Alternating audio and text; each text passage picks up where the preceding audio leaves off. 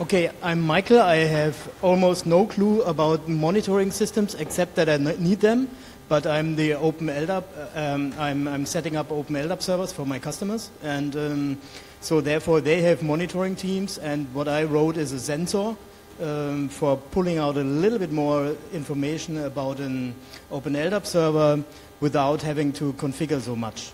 And um, I just show you the, the monitoring output and go through it and uh, you, will, uh, you will have a picture.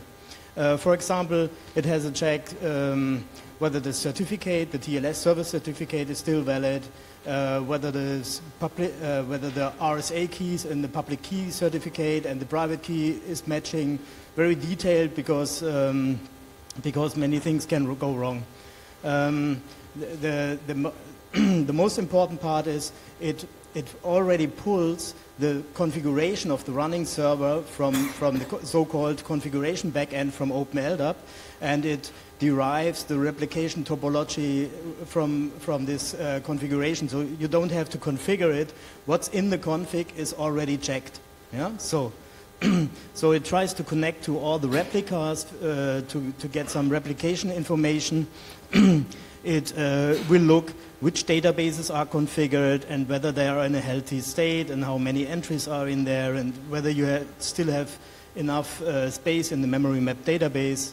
Um, it will, of course, um, give some performance data of the various LDAP uh, operations you can uh, have, and it will connect to all the other OpenLDAP provider replicas and check whether they are available. For example, here there are, uh, there's a warning because the, uh, only three or five configured uh, replicas are up and reachable. So, and it, furthermore, it checks, for example, whether the own host name is really in DNS and stuff like this. And um, yeah, basically that's it. Some more traffic mat uh, matrix, all you can um, pull out from the OpenLDAP uh, monitoring backend. So, so basically that's it. It's, uh, it's a Python module. You can install it with, uh, you can find it on, on PyPI. It's called slapdcheck. And currently it's just uh, outputting um, Nagios compatible, CheckMK compatible output, uh, but I plan to, to uh, also support Prometheus natively. So and yeah, you can just install it with pip install into a virtual environment and play with it. Um, normally, you, you would also have a small wrapper script around it with, yeah, okay. So uh, with three parameters where to reach the, huh? Huh? Okay.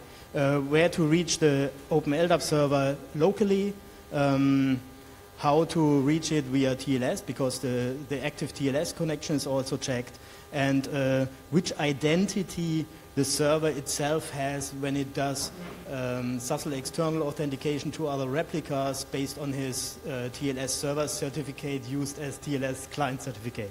Okay, many OpenLDAP details. Um, the nice thing is I even use it on the command line just to check whether my, my system is healthy even if I don't have a monitoring system around. Okay, so that's it. Any question? Time for a question? Uh, okay. Meet you later.